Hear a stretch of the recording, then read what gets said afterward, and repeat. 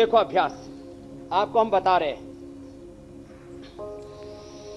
जो है अभी से खाना पीना लिया ये लोग। रखो इधर आराम से। खाना। क्या आया है स्वामी खाने जी? पीने के लोगों को बड़ी चिंता रहती है। हाँ हाँ। हाँ अभी मीनाक्षी को भूख भी लग रही है। स्वामी जी थाली ढक दीजिए। है। हाँ अभी तो अभी अभी पहले खाने का डाइजेशन का इंतज़ाम कर लेते हैं ना तो अच्छे डाइजेशन के लिए हमने सूर्य नमस्कार बताए, दंड बैठक बताए। आसनों में अब कितने आसन करना? आसन में, पद्मासन में और फिर शरीर को देखो ऐसे उठा लेना, कड़ाके की भूख लगेगी। एक गाँव की भाषा का लोक व्यवहार का शब्द है, लक्कड़ पत्थर हजम। माने जो खाए 100-200 ग्राम तक घी हजम हो जाए। मैंने महीने में चार चार पाँच पाँच किलो घी खाया हुआ है। और एक समय में एक एक दो दो किलो दूध और एक एक दो दो किलो दही पिया हुआ है। एक समय में उसके लिए 500 तो दंड बैठक लगाते थे और फिर आसन करते थे। हुसैन अब तो देखो ये आसन। रोटी भी गिनकर खाते हैं स्वामी जी। बैठ करके और हाथों के बल खड़े होते फिर रोटी खाते ही नहीं थे ना रोटी तो ऐसे ही नामचारी की एक रोटी खा लेते थे। अच्छा मीनाक्षी आप कितनी रोटी खाती हैं वैसे? अब आप ऐसी बात मत पूछिए। वैसे चार से पाँच रोटी एक बार में खा लेती हूँ। तो इसका मतलब आपका डाइजेशन जो सिस्टम है वो बहुत अच्छा है? ये खाने में बहुत पक्की है मीनाक्षी।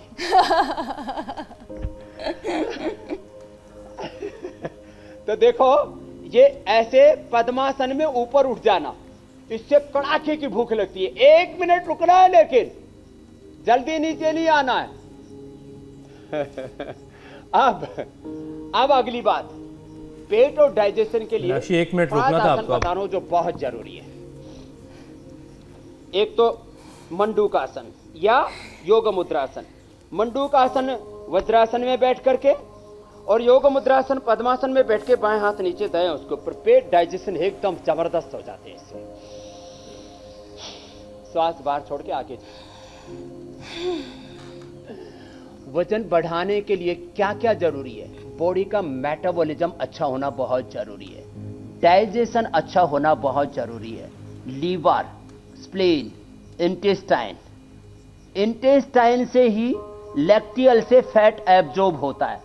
अब मैं थोड़ा इसका साइंटिफिक मैकेनिज्म बताता हूँ। जी। हम वज़न घटाने के लिए भी तेज एक्सरसाइज बताते हैं। उसमें फैट का लाइपोलाइसिस होता है। फैट जो है वो मेल्ट होकर के एनर्जी में बदल जाता है। एनर्जी में कन्वर्ट हो जाता है और जो अंडरवेट है जब वो एक्सरसाइज करते हैं उनका डाइजेशन अच्छा होता है। आंतें अच्छी होती हैं। आंतों से ही सब चीज़ एब्जॉर्ब होंगी। आंतों से जब आयरन एब्जॉर्ब होगा तो खून बढ़ेगा। जब प्रोटीन एब्जॉर्ब होगा तो मसल स्ट्रोंग होंगे। जब लैक्टियल से फैट एब्जॉर्ब होगा तब फैट बढ़ेगा। कैल्शियम एब्जॉर्ब होगा आंतों से तो हड्डियाँ मज़बूत होंगी। तो सबसे ज़रूरी है आंतों का स्वस्थ होना। एक तो टोटलिटी में एक्सरसाइज होना कैलोरी का बर्न करना, ये मंडूकासन। देखो, ये बहुत ज़रूरी है डाइजेशन के लिए। मंडूकासन आगे झुक गए और इसमें पीछे झुक गए तो सुप्त वज्रासन ऐसे सुप्त पद्मासन, सुप्त वज्रासन। माने मंडूकासन में आगे झुक गए तो पेट अच्छा होगा, पीछे झुकेंगे तो पीठ अच्छी होगी। पेट, पीठ का बैलेंस बॉडी का बैलेंस एनर्जी का बैलेंस ज़रूरी है। तो मंडूकासन, सुप्त वज्रासन, योग मुद्रासन और सुप्त पद्मासन। ऐसा ही ज़रूरी एक एक मिनट ऐसे कर लें और फिर अगला। देखो। अगला है, लेट करके तीन अभ्यास कम से कम सबको कर लें। एक, ये पवन मुक्तासन। एक मिनट तक सांस बाहर छोड़ के पेट को ऐसे दबा के रखना और ऐसे रुके रहना। जो शरीर दुबला पतला हो तो पूरे भी ऐसे पकड़ सकते हैं घुटने। ऐसे एक दूसरे हाथ से एक दूसरे हाथ के भुजा को ऐसे पकड़ते हुए और ऐसे पूरा पैरों को दबा लिया, घुटनों को छाती से लगा लिया, एक मिनट तक ऐसे रहना। ये पवन मुक्त आसन, एक मिनट तक रहना ऐसे श्वासों की गति सामान्य ये सारे आसन योगासन, एक्सरसाइज के बाद करना तो थकान भी दूर हो जाएगी। नहीं तो जब, जो मैंने एक्सरसाइज बताई है, मैंने कहा ना 100-200 ग्राम से लेके आधा किलो तक पसीना बहेगा। उसके बाद ये आसन करेंगे तो डाइजेशन बहुत ज़बरदस्त हो जाएगा। जो खाएँगे, पिएँगे वो हजम होगा, शरीर में लगेगा। नहीं तो कहते ना, खाया, पिया लगता नहीं है तो लगेगा। तो फिर वज़न बढ़ेगा, ताकत बढ़ेगी, बल बढ़ेगा, शरीर बल तो बढ़ेगा ही। मनोबल और आत्मबल योग से प्रबल होता है, ये बड़ी बात है। उत्तान पादासन। एक मिनट तक ऐसे रोक करके रखना। एक मिनट तक। अच्छा स्वामी जी। एक मिनट से पहले नीचे नहीं लाना पैर घुटने सीधे पंजे इतने वज़न बढ़ाने के बहुत से आसन हाँ। तो। आप बता रहे हैं लेकिन कई ऐसे मामले भी हैं जहाँ पर खूब खाते भी हैं लेकिन वज़न बढ़ता भी नहीं है और वज़न बहुत फिट हैं वो। ऐसा कैसे हो जाता है? जैसे आप मीनाक्षी को जान रहे मीनाक्षी ठीक ठाक तरीके से खाती हैं लेकिन इनकी सहयोगी जो हैं और वो इनसे पॉजिटिव टाइप वाली ईर्ष्या रखती हैं कि मीनाक्षी डट के खाती भी है लेकिन वज़न भी नहीं बढ़ता इसका। ऐसा कैसे हो जाता है? तो खाने पीने से वज़न नहीं बढ़ता। यदि आपका मेटाबॉलिज्म अच्छा है तो बॉडी अपने आप सारी चीज़ों को सेट रखेगी। देखो, मैं यदि दो किलो भी गन्ने का जूस पी जाऊँ तो मेरा शुगर नहीं बढ़ेगा। मैं 50 ग्राम भी नमक खा जाऊँ तो मेरा बीपी नहीं बढ़ेगा।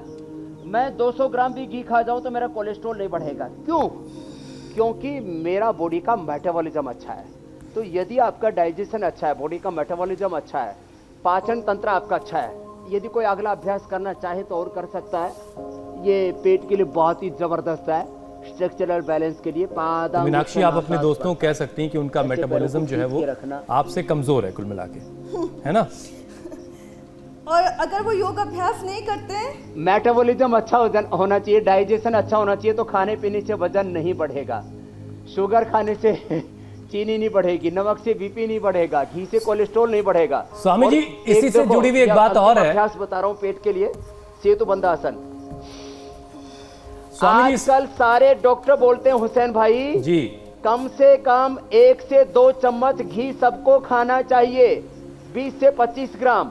और जो एक्सरसाइज करते हैं उनको 50 ग्राम गाय का घी खाना चाहिए सबसे अच्छा है। भैंस का घी खा करते हो पाड़े जैसी बुद्धि पाड़े जैसा भैंसे जैसा शरीर हो जाता है। तो इसलिए गाय का घी गाय का दूध सारी दुनिया में खाया जाता है ये कोई मजहबी बात नहीं ये एकदम हेल्थ साइंस की बात है। बिल्कुल।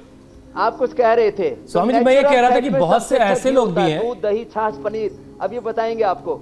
स्वामी जी बहुत से ऐसे लोग भी हैं जो बहुत कम खाते हैं। दिन भर में दो चार रोटियाँ खाते हैं लेकिन फिर भी उनका वज़न ठीक ठाक रहता है और वो चाहते हैं कि वज़न घटे फिर भी वज़न कम नहीं हो रहा था। जैसे मैं खुद को देखूँ सुबह से मैं दोपहर में जाके दो रोटी खाऊँगा रात के वक्त भी दो रोटी खाता हूँ। लेकिन वेट मेरा ठीक ठाक है बढ़िया है। आ, तो क्या कुछ और वजह भी होती हैं वेट मेंटेन रहने की? देखो वेट तो मेंटेन ही रहना चाहिए। हर आदमी को कम से कम 20 से 25 मिनट तेज एक्सरसाइज करनी चाहिए। जो तेज एक्सरसाइज नहीं कर पाए जैसे जो सूर्य नमस्कार न कर पाए दंड बैठक न लगा, पाए आसन भी न लगा पाए तो देखो अब मैं बता रहा हूँ।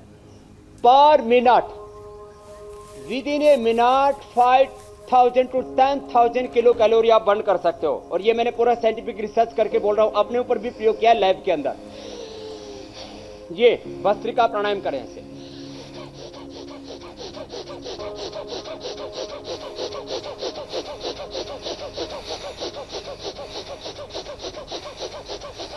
करो बच्चों, तेज़ी से कर रहे हैं।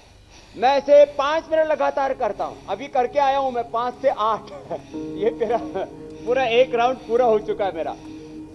मैं एक मिनट में दस हज़ार किलो कैलोरी कम कर लेता हूँ। ये बहुत बड़ी बात है और इसलिए मैं पूरी दुनिया को पूरे ज़ोर से उद्घोष करके साथ ही कहना चाहता हूँ। आप डीप ब्रीदिंग कीजिए। इसी से अपना वेट बीपी शुगर अपना स्ट्रक्चर पूरा करेक्ट बॉडी का हार्डवेयर सॉफ्टवेयर सब कुछ कंट्रोल कर सकेंगे। एक से पाँच मिनट ये डीप ब्रीदिंग सामान्य गति। मध्यम गति।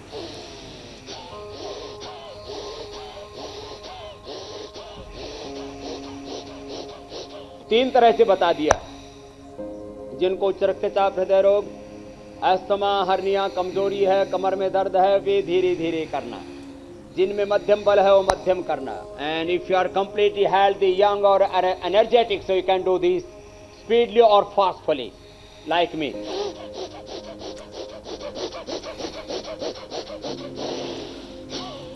एक, ये बहुत ज़रूरी है। दूसरा कपाल भाती ये, पूरी बॉडी का मेटाबॉलिज्म पूरी बॉडी एकदम परफेक्ट और सिक्स पैक बनेंगे। जिसकी चाहत हर किसी को है। और अब सिक्स पैक्स के साथ में और जो मैं ये नोली क्रिया करता हूँ ना देखो।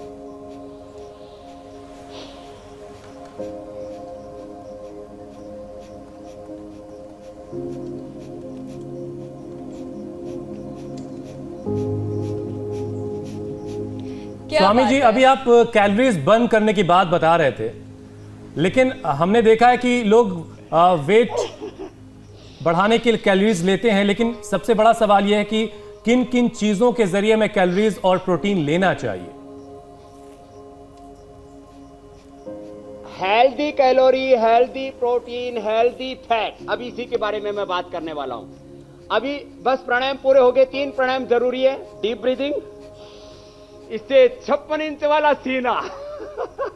राजनीति में भाई किसी का हो या ना हो सब देशवासियों का छप्पन इंच का सीना हुआ होगा।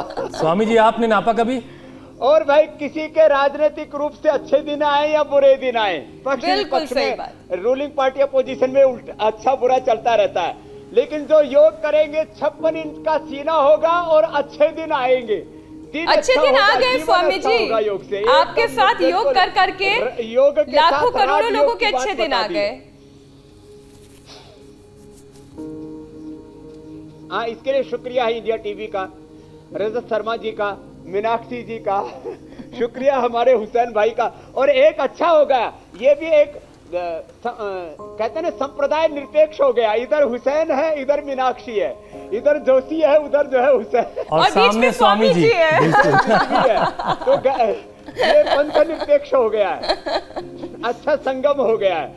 और पूरे देश में भी हिंदू मुसलमान सब कर रहे हैं। और ये सबके लिए ज़रूरी है। और अब वर्षा भी आ गई है हरिद्वार में। भगवान भी राज़ी हो गए हैं। आसमान से पुष्प वर्षा होनी शुरू हो गई है। तो भस्त्रिका कपाल भाती और सब बच्चे अनुलोम विलोम करेंगे स्वामी जी, अब विलोम। मीनाक्षी के, के पसंदीदा टॉपिक पर आते हैं, डाइट। माइंड थॉट्स एनर्जी के बैलेंस के लिए ज़रूरी है हाँ जी